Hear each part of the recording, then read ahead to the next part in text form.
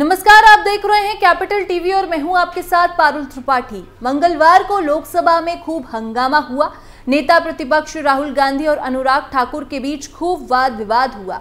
अब बीजेपी प्रवक्ता संबित पात्रा ने राहुल गांधी को लेकर बहुत बड़ा खुलासा किया है। इस खुलासे को सुनकर चौंक जाएँगे आप। चलिए, क्या है वाद विवाद और संबित पात्रा ने क्या किया है खुलासा? ये सब कुछ विस्तार से जानते हैं। जाति विवाद पर सबसे बड़ा खुलासा राहुल गांधी हिंदू होने का करते हैं ढोंग। संबित पात्रा ने राहुल गांधी की खोली पोल। मंगलवार को लोकसभा में पूर्व केंद्रीय मंत्री अनुराग ठाकुर ने बजट भाषण के दौरान नेता प्रतिपक्ष राहुल गांधी पर जमकर हमला बोला। भाषण के दौरान ठाकुर ने राहुल गांधी का नाम लिए बिना उनकी खटिया खड़ी कर दी। उन्होंने कहा कि जिसके जाति का नहीं पता, वो जाति जनगणना की बात करता है। जिसके बाद से विपक्षी दलों के नेता उनका कड़ा विरोध कर रहे हैं। हालाँकि बीजेपी के कई बड़े नेताओं की ओर से अनुराग ठाकुर को समर्थन मिल रहा है।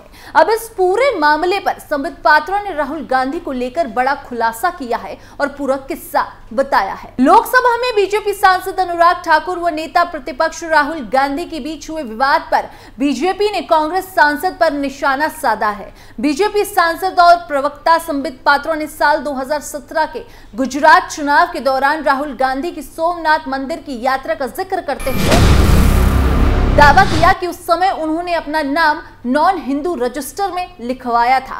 लेकिन इसके कुछ दिनों के बाद कांग्रेस ने राहुल गांधी को जनेऊधारी ब्राह्मण बता दिया था।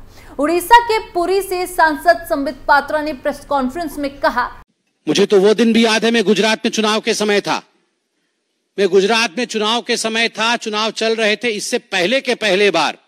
सोमनाथ मंदिर राहुल गांधी गए थे, उनको किसने समझाया था?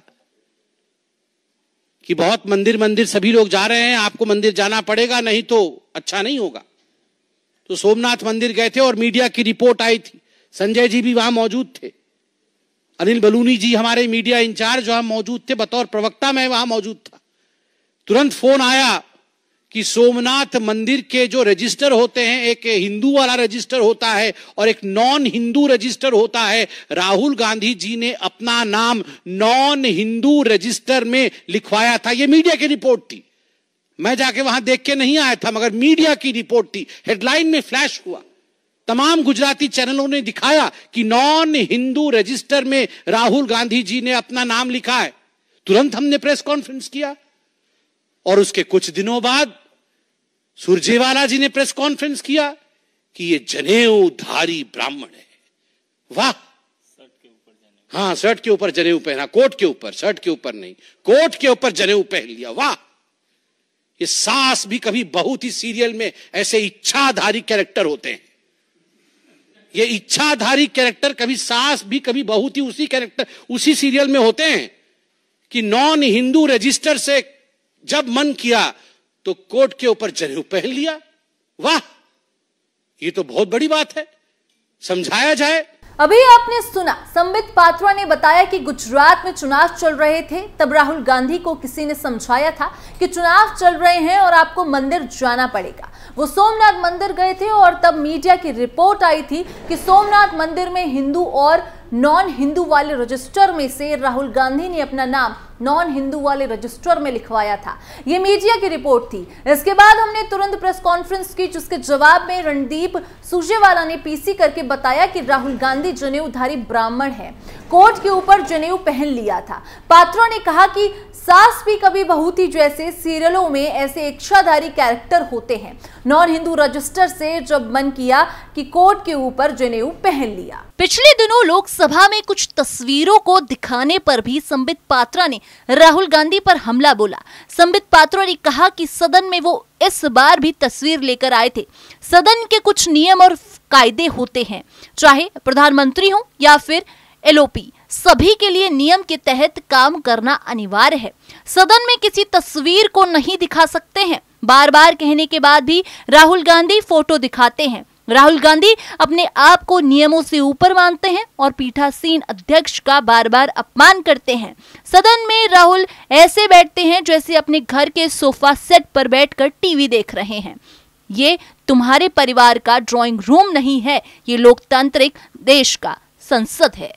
किसी की भी जाति पूछ सकते हैं राहुल, लेकिन संबित पात्रों ने सवाल किया कि विपक्ष के नेता राहुल गांधी की जाति पूछने में क्या गलत है। जब वो सरकारी अधिकारियों, न्यायाधीशों और यहाँ तक कि पत्रकारों सहित अन्य लोगों की जाति के बारे में पूछ सकते हैं तो हालाँकि सत्तारूढ़ दल ने स्पष्ट किया अनुराग ठाकुर ने लोकसभा में केंद्रीय बजट पर बोलते हुए गांधी की जाति के बारे में नहीं पूछा था और आश्चर्य जताया कि विपक्ष के नेता ने इस पर आपत्ति क्यों जताई और इसे उनका अपमान क्यों कहा? जब अन्य सदस्यों में से किसी ने भी पूर्व केंद्रीय मंत्री की टिप्पणी पर कोई आपत्ति नहीं जताई।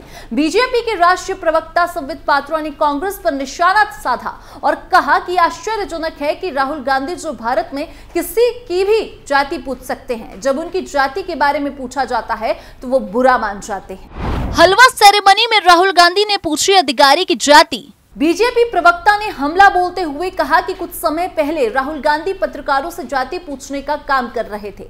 पत्रकारों की जाति पूछी जा सकती है। हलवा सेरेमनी में जो अधिकारी खड़े हैं, उनकी जाति राहुल गांधी पूछ रहे थे। जज की जाति, सैनिक की जाति पूछ सकते हैं। इनसे अगर कोई पूछ ले तो मम्मी मम्मी करते हैं। ये क्या मज़ाक बना रखा हुआ है? संबित पात्रों ने कहा कि क्या राहुल गांधी साधु हैं?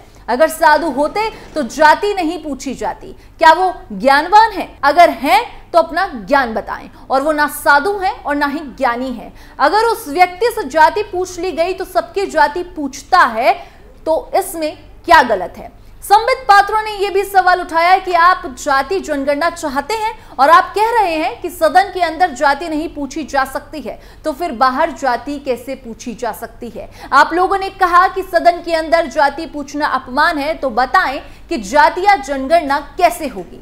इसके साथ आपको बता दें कि समाजवादी पार्टी के प्रमुख अखिलेश यादव ने अनुराग ठाकुर को घेरते हुए लोकसभा में सवाल पूछा था कि आप, यानी कि अनुराग ठाकुर, किसी की जाति कैसे पूछ सकते हैं? सपा सांसद के इस बयान के बाद अनुराग ठाकुर ने सोशल मीडिया हैंडल एक्स पर एक पोस्ट शेयर किया। इस पोस्ट में अनुराग ठाकुर ने एक वीडियो क्लिप शेयर की। वहीं वीडियो की कैप्शन में उन्होंने लिखा कि जाति कैसे पूछ ली अखिलेश जी। वीडियो क्लिप में एक तरफ़ अखिलेश यादव लोकसभा में अनुराग ठाकुर की वीडियो है, जिसमें वो अनुराग ठाकुर पर निशाना साध रहे हैं। वहीं वीडियो के दूसरे स्लाइड में सपा सांसद की पुरानी वीडियो है जिसमें वो एक पत्रकार से जाति उनका नाम पूछ रहे हैं। इनसे ये पूछना चाहता हूँ आपने जाति कैसे पूछ ली ये बताइए बस। आप जाति कैसे पूछ सकते हैं? आप बताएँ जाति कैसे पूछ सकते हैं आप? पूछ के दिखाओ जाति तुम आप जाति कैसे पूछोगे तुम? कैसे पूछोगे जाति? ए छोड़ो अपना कैमरा कहीं और ले जाओ चलो आप लॉ एंड ऑर्डर की बात कर रहे हैं लेकिन तुम पिछड़े हो कि क्या? नाम क्या तुम्हारा? नहीं नाम बताओ इनका क्या है। नाम बताओ। हाँ मिश्रा जी अरे मिश्रा जी कुछ तो शर्म करो। अरे कुछ शर्म करो यार पत्रकारिता करो यार पत्रकारिता करो। अरे पत्रकार साथी नाम क्या है इनका? पूरा बताइए ना। पुष्पेंद्र सिंह। तो ये तो सूत्र नहीं है ना। वीडियो को देख अखिलेश यादव का दोगलापन तो आपने देख लिया। अब ये देख लीजिए कि जाति विवाद पर पीएम मोदी, कंगना रनौत और किरण रिजिजू का क्या रिएक्शन आया है। बता दें कि पीएम मोदी ने सोशल मीडिया प्लेटफॉर्म एक्स पर अनुराग ठाकुर का वीडियो शेयर करते हुए लिखा कि यह भाषण मेरे युवा और ऊर्जावान सहयोगी श्री अनुराग ठाकुर का है। इसे अवश्य सुनना चाहिए। तथ्यों और हास्य का एक आदर्श मिश्रण इंडी गठबंधन की गंदी राजनीति को उजागर करता है। संसदीय कार्य मंत्री किरण रिजिजू ने विपक्ष के रवैये को गलत बताते हुए राहुल गांधी और कांग्रेस पार्टी को निशाना पर लिया। रिजिजू ने विपक्ष की आलोचना करते हुए कहा कि ये रवैया गलत है। संसदीय कार्य मंत्री ने कहा कि हम इसका खंडन करते हैं। उन्होंने कहा कि कांग्रेस पार्टी और राहुल गांधी दिन भर जाति जाति करते हैं, लेकिन अगर किसी ने उनसे जाति पूछ ली तो देखिए कैसे करते हैं। रिजिजू ने कहा कि कांग्रेस ने हमेशा देश को तोड़ने का काम किया है। उन्होंने कहा कि कांग्रेस ने देश की सेना का मनोबल गिराया है। कांग्रेस देश में हिंसा और अराजकता भड़काने की कोशिश कर रही है। कांग्रेस देश को कमज़ोर करने का काम कर रही है। हम लोग रूल्स और रेगुलेशन के साथ जाएँगे। इस दौरान विपक्ष के सदस्यों ने वी वॉन्ट कॉस्ट सेंसेस लिखे पोस्टर भी लहराए। बॉलीवुड एक्ट्रेस और बीजेपी सांसद कंगना रनौत ने कांग्रेस अध्यक्ष राहुल गांधी पर हमला बोला।